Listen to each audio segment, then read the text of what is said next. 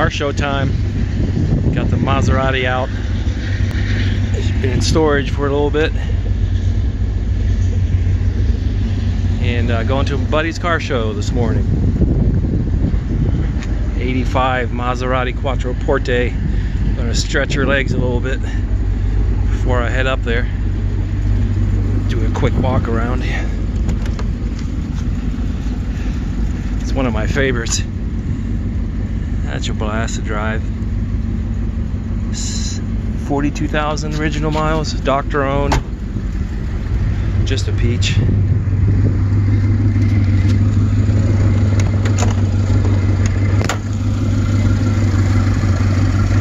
Four point nine liter V8 quad cams, quad carbs, four Weber carburetors. This is the US model, so it's got, fortunately, it's got also has four catalytic converters on it, which I'm not a fan of, but I'm not going to mess with any of that. Keep it original. Anyways, wanted to do a quick walk around on this thing. Got the SM. I was going to take the SM, but it still needs uh, a few a few things here and there. It's not quite ready yet. Anyways, have a good one.